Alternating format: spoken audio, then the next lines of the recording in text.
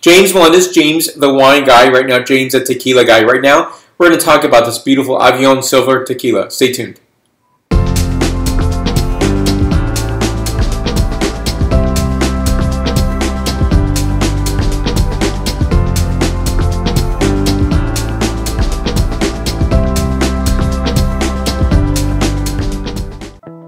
So what we have here is Avion Silver, and uh, silver meaning simply this, that there's no oak imparted or uh, where this is aged in oak whatsoever, hecho en Mexico.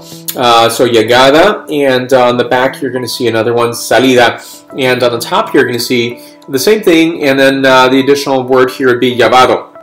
So basically these three words are describing, or I think just giving an evocation of llegada meaning arrival, salida meaning exit, and llevado to carry. So arrive, exit, and to carry.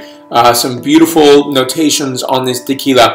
It's uh, a really nice way of you know differentiating. So the silver to the añejo to the, the reposado, and really getting different flavor characteristics from each. And while oak has some great influence, uh, to taste this on its own is a really great way of discovering tequila and to really get uh, what is going on here. It is absolutely sublime. So what I'm really enjoying is, is to get the tequila, the essence of what it is on its own. The, the blue agave is really uh, pronounced, beautiful, and uh, exquisite on its own. While oak does a great thing, of course, um, but for me it's really that uh, of difference of really getting down to uh, getting the differentiation here.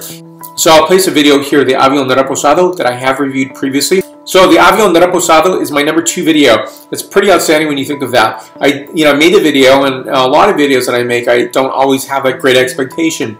And in the wine spirits world, it's really hard to get to that number uh, of clicks. I did have a number of people uh, clicking through, finding my Avion de Reposado review, and I'm hoping the same will happen here. So I think really the uh, appreciation is to enjoy the blue agave on its own without the oak uh, influence.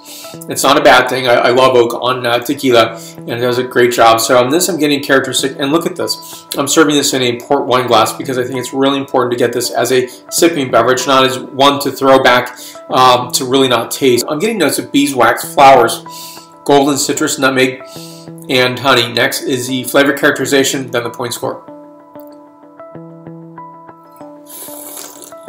Characteristic notes on this include clovered honey, pear, apple, pepper, cardamom, and fennel.